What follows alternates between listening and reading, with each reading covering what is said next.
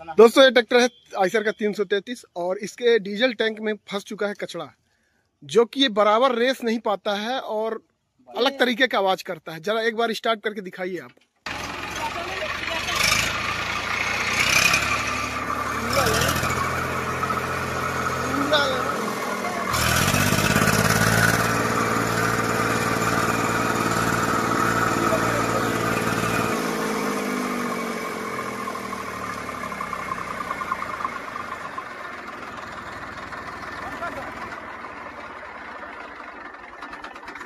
और ये आप आवाज़ तो चेक किए होंगे कि इसका डीजल ये पूरा गाड़ी नहीं पा रहा है। तो चलिए हम टंकी को साफ़ करते हैं और टंकी को कैसे साफ़ करते हैं ये आपको हम बताएँगे।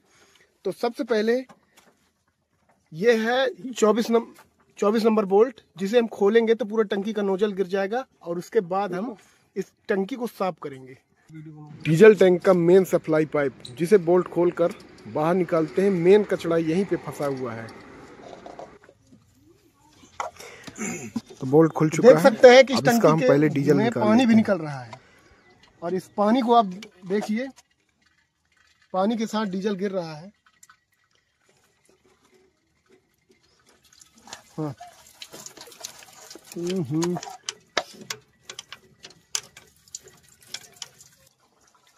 चल बारह किलो डीजल आ गया।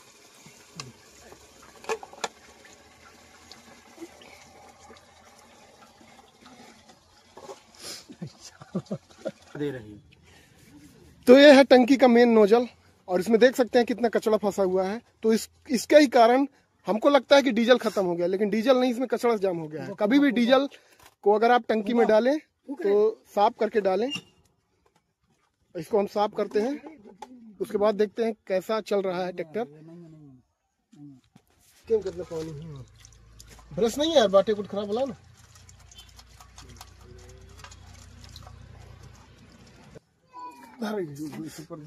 डीजल टैंक में डीजल निकालने के बाद भी कचरा रह गया है। इसलिए हम इसको पूरा पानी भर के और साफ़ करेंगे। पानी है यार। डीजल बहा रहे हैं। इतनी बड़ी आदमी बन गई। डीजल बहा अंकल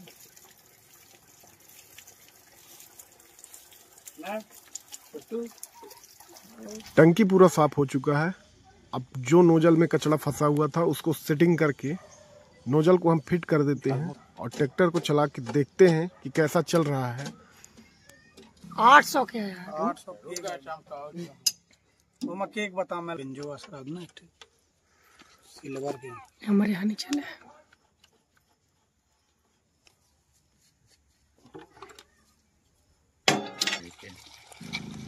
डीजल डाल लेते हैं। और उसके बाद स्टार्ट करके देखते हैं। गरम है। एक लीटर डीजल एक लीटर से।